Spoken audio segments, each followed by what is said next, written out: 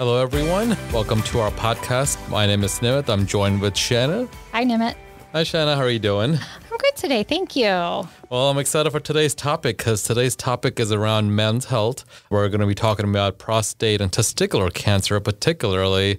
You know, I think men in general are, are not the best in taking care of their own health. So I think it's a good topic to talk about. And we have Dr. Mahmood here, who is specialist in, in these topics.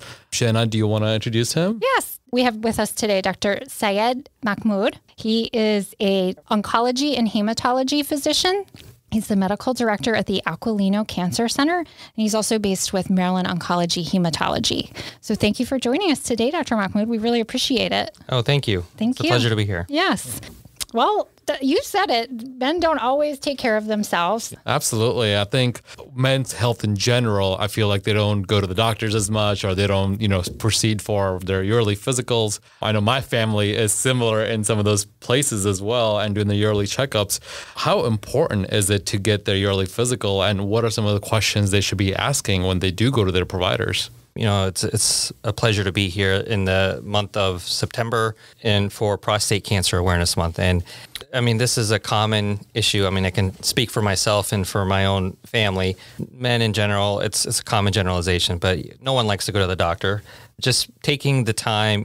I think that the key things for men's health is trying to think about, well, what can I do to prevent issues from coming up? Preventative health is a key thing here. Absolutely. Um, there's a lot that we can do to live a good lifestyle, healthy lifestyle, and um, prevent issues from coming.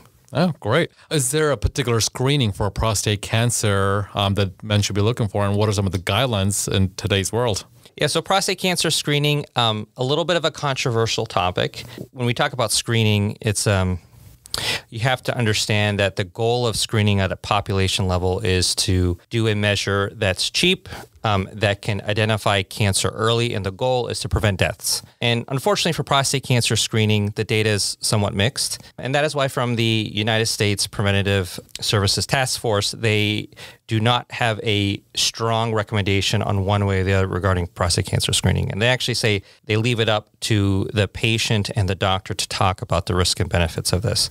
And that's because there's two large trials showing that the data is mixed. Yes, screening we know can identify cancer sooner. The key thing is is by identifying cancer sooner, are we really making a difference in preventing death? What comes with that is sometimes overdiagnosis and overtreatment. The American Cancer Society actually comes down a bit stronger on this. They generally do for cancer screening, and their general recommendations for um, prostate cancer screening is for the average risk men uh, starting at the age of 50 to have a conversation with their doctor and, and to consider screening. And screening for prostate cancer is either with the PSA test and or the prostate exam, digital rectal exam. Um, and you consider doing that every two years, average age um, starting at the age of 50. Now, when you think about risk factors, um, there are people who are at higher risk that you may want to consider starting sooner. And, and that is anyone with the first degree relative. That means for most men, their brother or father, that if they had a diagnosis of prostate cancer before the age of 65, that's considered a high risk. Unfortunately, African American uh, men are also considered at high risk. So, for those high risk individuals, we consider screening starting at the age of 45. And in particular, the screening recommendations from the American Cancer Society go down earlier to the age of 40 if you had two greater, basically two or greater first degree relatives with a history of prostate cancer, or you have a one of these what we call hereditary cancer syndromes, or have a mutation you were born with that puts you at higher risk for getting prostate cancer. Absolutely, and I think there's there's so many different scenarios of, of where your health could be and what are risk factors that you're involved with. I think to our earlier conversation is that's why it's so important to you know have that conversation with your physician and provider and talk to them about you know am I in one of those risk factors or am I okay? Do I need to get these testing or screening? Am I one of those people that I need to you know look for these symptoms and what risk factors are associated with it? So I think it's it's very important. Now, are these similar for testicular cancer as well? So I would say testicular cancer is very different. Uh, there are rare genetic, let's say, syndromes that are associated with high risk of testicular cancer. It's very rare. One, for example, is something called Klinefelter syndrome. But as is the case with even prostate cancer, the vast majority of people who develop testicular cancer or prostate cancer is someone who doesn't have a family history. So for testicular cancer, there is no effective screening study or a screening modality for testicular cancer. It's all about identifying signs and symptoms, getting checked out early. You know, the key thing about testicular cancer is this generally happens in young men, whereas it's a rare cancer in general. Less than 1% of solid tumors are testicular cancers. However, it's the most common solid tumor diagnosis in men between the ages of 20 and 34. Wow, that's I was very say I didn't know that. that- Yeah, yeah. That so it's a, you know, these are the younger. That's right. This is the age where men don't expect to get anything, and the key thing is that it presents generally as either a painless lump or a painful lump in the testes. And most people chalk it up at, at that age. You're like, you don't expect any issue. You think you got injured. You think, oh, it's some infection. It's going to go away. But that is where something, if, if something is present, just get it checked out by the doctor. It is one of the most curable cancers out there. Risk of death is actually quite low if you get it checked out and treated effectively. And treatment is very effective. But the key thing is identification. That's that's where we lose out and where we may delay in diagnosis and delay getting things checked out is when you just ignore it or decide that it's something else on your own accord and don't get it checked out by the doctor. Yeah. I think it's really good to know that, you know, when people hear cancer, they're, you know, related to not curable or, you know, fatal in, in some cases. But it's good to know that, you know, this is not fatal and very curable in early stages and identification is the key. What are some of the myths around testicular cancer? Testicular cancer, for a long time, even when I was growing up, I remember that, okay, if you get repetitive trauma, bike riding, horseback riding, you know, repetitive trauma was thought to be associated in increased risk for testicular cancer. And that's just not the case. That hasn't been proven. The data has not borne that out. The main risk factors for testicular cancer is really undescended testes. It's also called cryptorchidism.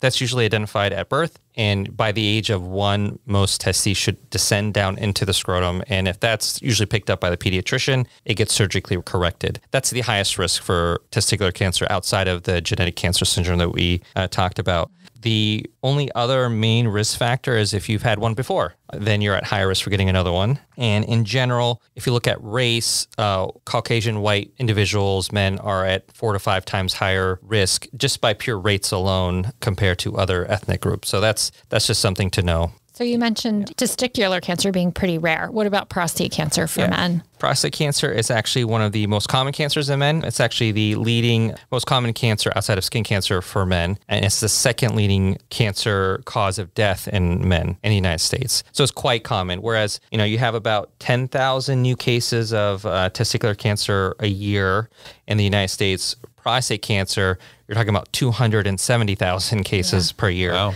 And so it's quite common. One in eight men are going to be diagnosed in their lifetime. Well, it's the same as breast cancer for women. Exactly. So for women, breast cancer is most common, and for men, it's prostate cancer. Whereas one in 41 men will actually die from prostate cancer. So it's not that high risk of death, but it, it is very common. And the key thing that we're learning about nowadays is that there is a strong there is a strong genetic link to prostate cancer. If you think about your own family history, think about how many people in your family have a cancer history and it's quite common. And we now know we're doing much better at testing for gene mutations, identifying mutations that people are born with that are associated with cancer, not only prostate cancer but other cancers. And the cost of testing has gone down quite a bit Yeah. at most, if you have a enough family history, your insurance will cover testing. The availability of genetic counselors to do this for you, to kind of go through your family history and identify things, it's much more prevalent and available. I'm part of a practice that we have several people that can do genetic counseling for you. And the out of pocket costs, even if your insurance for whatever reason doesn't pay for it, the out of pocket cost for broad testing is somewhere around $200 or so. So Wow. it's quite affordable compared to even just like 10, 15 years ago. So just identifying that, not only could it help you, it could help other people in your family. And prevention is the key thing here. And maybe there are things you can do to even prevent cancer from developing, um, especially in breast cancer and ovarian cancer and things like that. So We've talked about that on this podcast. It seems to be a recurring theme is prevention and just knowing your body, knowing what's going on and developing a relationship with your physician to talk about that. And you- said prostate cancer, it's a little, it's kind of mixed on what to do. What's not mixed is just knowing your doctor and finding one and having those conversations. Um, Absolutely. same thing for women. That's a that's a recurring theme here. And we've talked a little bit too about having that conversation with your family and knowing your Yeah. history that yeah, it's not the most pleasant thing to talk about, but it's important to just be aware of what's in your background, what's what's going on with your family. I I think the tide will shift. You know, I came from a culture and a background where people didn't talk about mm. other family members' health, right? They kept it all hush hush or secret or personal. And that's fair, but knowing your family history can make a big difference to your own health. Mm-hmm. Absolutely. What are some myths around prostate cancer? You talked about a little for testicular cancer. What about for prostate? Yeah, I think there, in terms of risk factors, you know, some myths were that there's data really that's inconclusive regarding vasectomies. So there was, I know there's a lot of information out there that vasectomies can increase your risk for prostate cancer. That has not been proven out.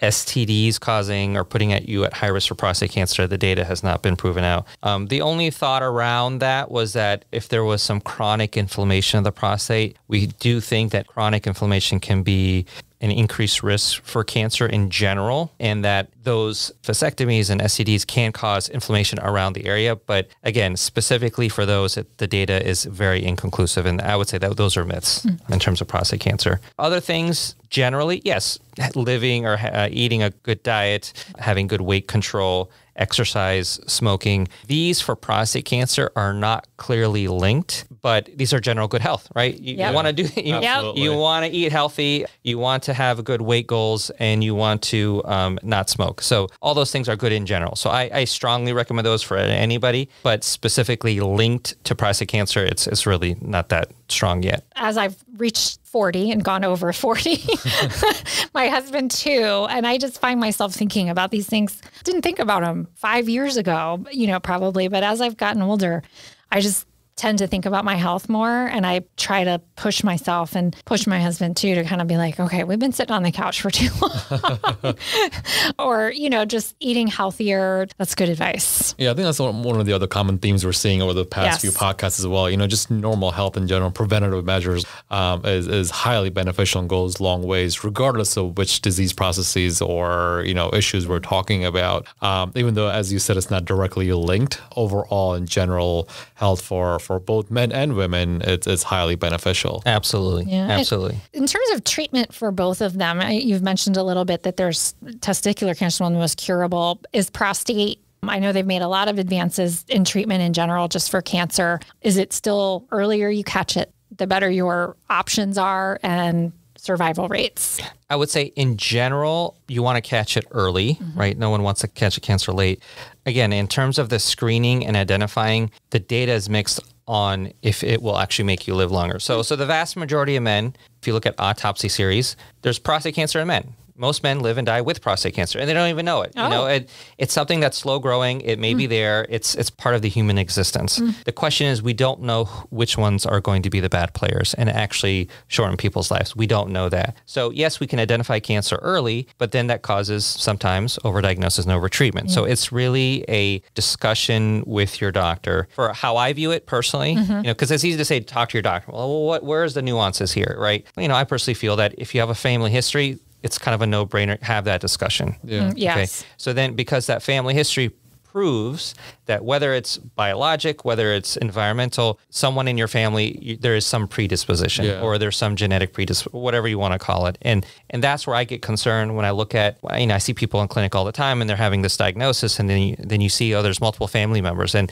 that's the person you think could there have been an intervention to catch it early. I would say advancements and treatments are vast. You know, before there was a kind of very intensive surgery that most people do. Now it's all robotic. Recovery time is is excellent. Surgery is one of the mainstays, but you don't need surgery. Many prostate cancers are found early. You can watch prostate cancer. Like I said, I've heard that term watchful waiting. Exactly, Yep. exactly. Because again, this is generally a slow growing. That's usually we use that for the lower grade prostate cancers that prove that they're slow growing cancers. But radiation therapy, what we call brachytherapy, which is implanting these radiation seeds into the prostate that doesn't require surgery. And then later on down the line of the cancer journey, you may be talking about hormonal therapy and chemotherapy. And, and there, there's big pushes now in terms of diagnosis and imaging modalities for prostate cancer that are really advancing. That's wonderful. That's good to hear that, Yeah, absolutely. that things are, are moving forward and becoming more advanced. And so maybe that'll encourage people to continue to keep up with their health and catch it early so that they have a lot of options. Mm-hmm.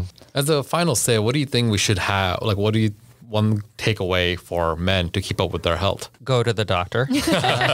You know, I We haven't I- said that enough today. no, I know because it, it, it is a re- honestly it is a recurring theme. If you talk to any doctor that treats a lot of people, it's a recurring theme. There's usually a couple that comes in and someone's dragging the other person in on both sides. Okay, it happens on both sides. But yes, it's commonly the men being dragged in, and the people who ignore things are usually in the worst shape. And yes, if you catch if you there's a problem that's can't be explained, something with your health, do not put your head in the sand. Go see the doctor. I tell some of my patients, you know, you, I give them permission to poke you, poke them with a sharp stick to get them to the doctor, okay? Because you know, if if if there's an issue, they need to get checked out. Especially with the last couple years with COVID, a lot of people, rightfully so, concerned about going into the doctor, go, concerned about being around other sick people Yeah. And that has led to delays in diagnosis and later presentations. And and we've seen that just in the last couple of years in our own clinic you know, let alone nationally. So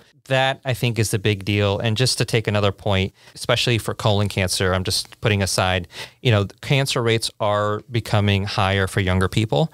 And just because you're young don't expect medical issues can't come up and, and that's just something that we need to all be aware of Yeah, we've we've heard that actually on some past episodes, even around heart disease in women. It's it's occurring younger. Colorectal cancer. We heard today testicular cancer is more common in younger men. Yeah. So no matter your age, pay attention to your health, know your body, find a doctor that you can connect with and have a relationship with.